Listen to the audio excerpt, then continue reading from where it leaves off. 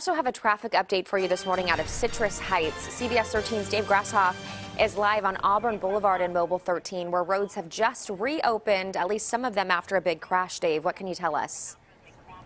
Good morning, Dina. Yes, it is open here. Auburn Boulevard at Carlton Lane. There was a overnight or early morning accident uh, involving a couple of trucks. One of them was actually wrapped around a light post, but the intersection is open. You can get through. There are crews out here working on the traffic signal that was hit. I believe we have a picture of uh, the accident, and uh, we don't have any details on the injuries uh, or if anybody was indeed hurt, but you can see pretty nasty accident, and you have a white vehicle there up against uh, the light post, and then a red truck there is up against uh, one of the other traffic signals. So uh, we'll try to get updated information whether anybody was hurt in that. But yeah, the roadway was uh, closed for a little bit. It has since reopened.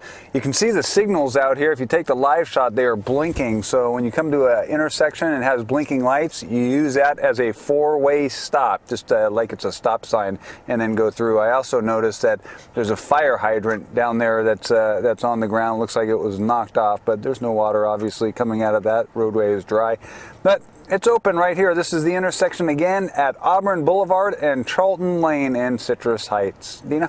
All right, Dave Grashoff again giving us that live look this morning. Thanks for the update. And of course, as we get new information, we will make sure we share that with you.